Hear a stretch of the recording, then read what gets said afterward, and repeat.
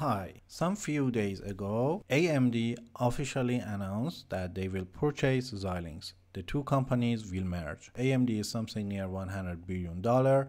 There are 12,000 employees. The CEO is Dr. Lisa Su, and Xilinx is near 5,000 employees. Dr. Peng is the CEO, and the valuation is total 35 billion dollar. This is the weekly chart for the AMD if we look around 2016, AMD is bankrupt.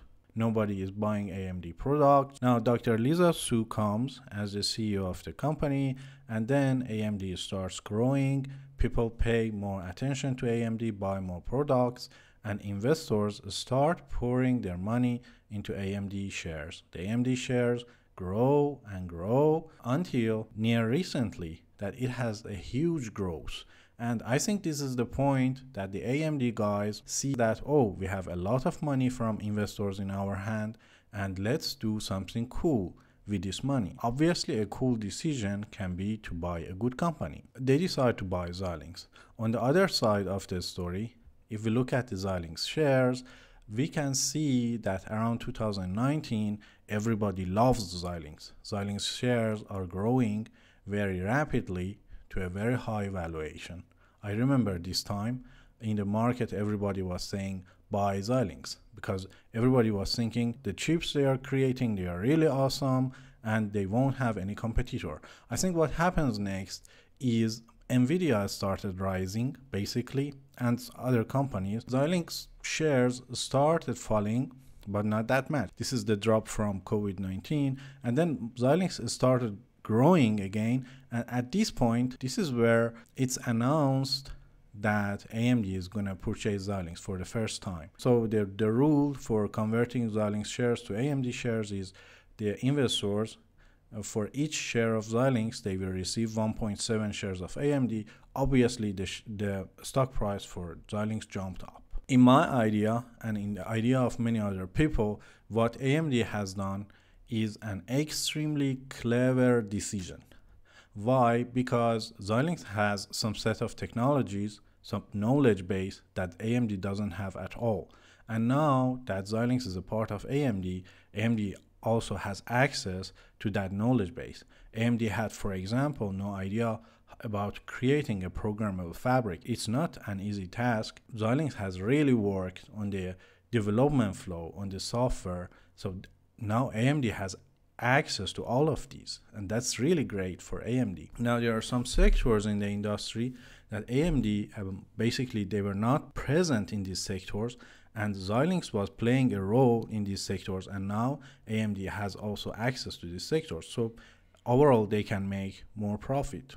If we look at the latest uh, revenue announcement from Xilinx, the latest revenue announcement is around 767 million dollar for the quarter.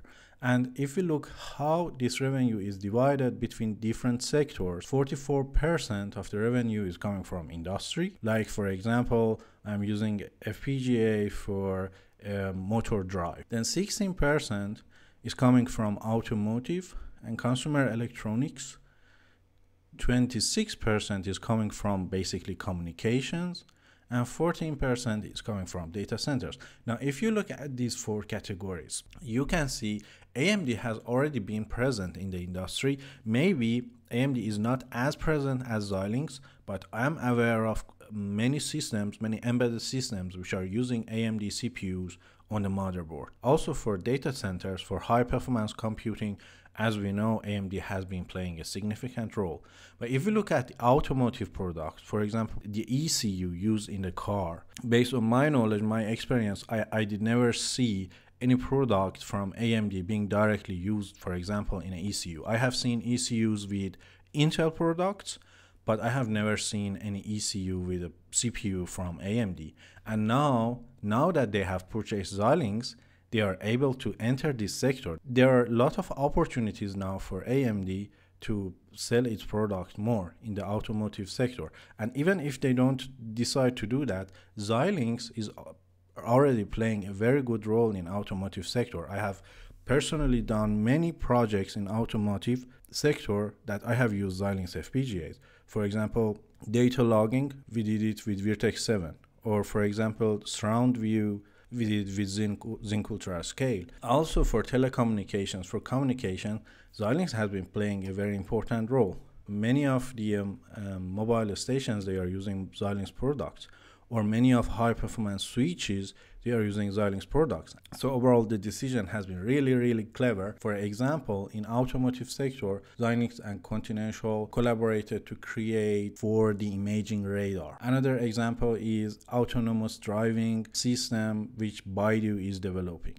Another example is a vision system that Subaru is developing. Here is another set of examples. The Kintex, which is space grade, or Xilinx and Samsung are working together for the 5G network. And this is also a great market. Now, Xilinx is developing a really cool family of programmable uh, devices called RFSoC. I have I have used RFSoC in one project and it's really an, an amazing device. The A2Ds which you have there with, with a sampling rate of 4 gigasample per second, they really work fine. They, both the DACs and the A2Ds, they really work. And this is a really cool product. And now that AMD has purchased Xilinx, they have access to all of the knowledge base related to design of such a multiprocessor system on chip. Five years ago, Intel purchased Altera, and it created a lot of excitement. I personally was thinking this is game over for Xilinx. But after that, nothing significant happened. If you look at the um, current portfolio of FPGAs from Intel and development tools, it has made progress in comparison to five years ago. But the progress is not really significant. And in my idea, even if Intel was not purchasing Altera, Altera products were better now they were better, they were cheaper. This is my idea, and I probably create another video on this. Now, maybe this time is different. Maybe this time that AMD has purchased Xilinx, they create cool products by combining the IP from both companies. Maybe they create an MPSoC which contains CPU cores or GPU from AMD. This, this is going to be really cool. For example, if you look at the Zynq UltraScale Plus, a, a, big problem it has is the GPU. The GPU is really weak for performing 3D operations. Or what about a um, server CPU, which contains a programmable fabric beside it in the same package, directly connected? These are really interesting ideas, and we can talk about them in other videos. But maybe this time is different. Maybe AMD acts better in comparison to Intel. Intel obviously had some issues with their fabrication technology node, but maybe this time we will see more interesting product.